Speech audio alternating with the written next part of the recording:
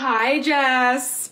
Oh my gosh. Hi, Mrs. Anderson. We weren't expecting you today. I know I wasn't supposed to be here till next month, but I had another last minute business thing come up, so here I am. I made my reservation like 10 minutes ago. Oh, wow. Well, you know, we always love to see you here, so let me go ahead and get you all checked in, okay? All right, thanks, Jess. I, uh... This isn't, this isn't 415. Oh, I know. I'm sorry, but someone's currently checked into that room right now. Uh, but 415 is, is my room. I, I always stay in, in that room. I know, and we always try to book you into that room, but since it was so last minute, we didn't know you were coming. I, I'm sorry.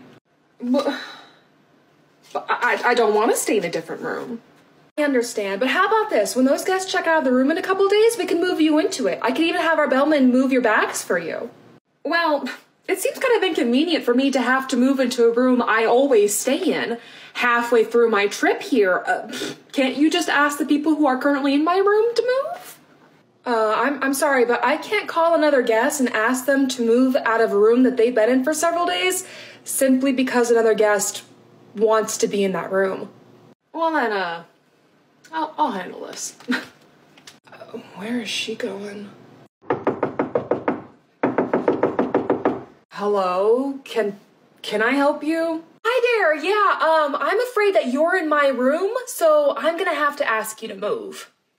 I'm sorry, I, I think you're confused. I've been staying in this room for several days. Yeah, no, but but this is this is my room. Your did, did the front desk tell you this was your room? Cause th then they must have double booked you or something. Yeah, no, the front desk definitely messed up by putting you in my room. Uh, but they wouldn't call and tell you to move to fix their mistake. So I went ahead and I decided I'd come up and tell you that you need to move myself. Um, I'll, I'll be right back. Okay. Sure, yeah. I just appreciate it if you know you packed up quickly, okay? She told you what?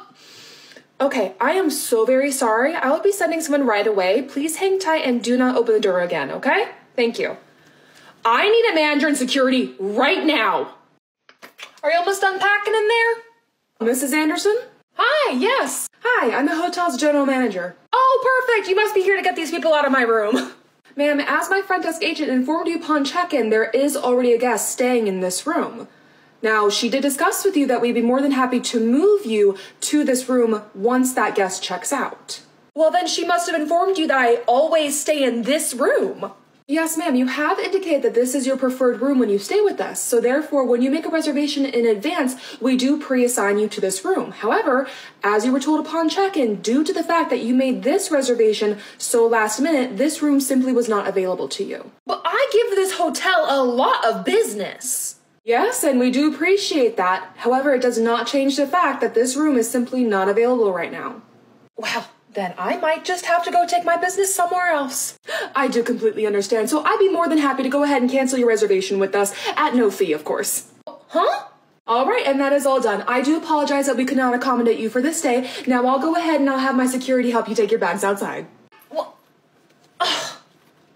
Okay, this is a very fair question. I saw a lot of people asking what was so special about this hotel room that this lady just had to have it.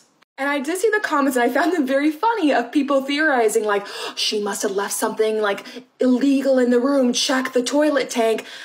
That's really just not the case most of the time. Especially with business travelers, you can find that if they're coming to your hotel a lot, they do find themselves attached to certain rooms. Now, maybe it's because they like the view, maybe they like how far it is from the elevator. Like, there's a ton of reasons that a guest could decide that this room is their favorite. And sometimes there's no reason. Sometimes guests just get irrationally attached to one room without ever seeing a different room in the hotel. Even when my bonus mom was traveling for work, there was this hotel that she always stayed at that always put her in the same room. And one day they did it and she accidentally, just on autopilot, went to that room and tried to open the door. Now she didn't pull Miss Anderson, but she was like, oops, this isn't my room this time. Now, when I worked at the business hotel, I did have another guest who got irrationally attached to one room type. And sure enough, there was a day that he showed up and that room wasn't available. Now, we knew he wouldn't be happy about it, so we went ahead and we upgraded his room type. And so when he came to check in, we tried to sell him on it. We were like, this is a bigger room with a lake view, with a balcony. Like, you're gonna love it. It's actually one of the best rooms we have. And he was all, no, no, no, it's not my room. It was a whole fight with this grown man. And finally, we got him to agree to just look at the room. Like, dude, just, just go look. Just go, just go look at the room. Look at it and tell us you hate it. And what happens? He goes to the room, calls down, and is like, Whoa, this room is amazing. I love it. Wow, who would have thought? Us! We knew because we've actually seen all the rooms at the hotel. You've only ever seen one! But all's well that ends well, and he did actually trust us from then on to put him in good rooms. Oh,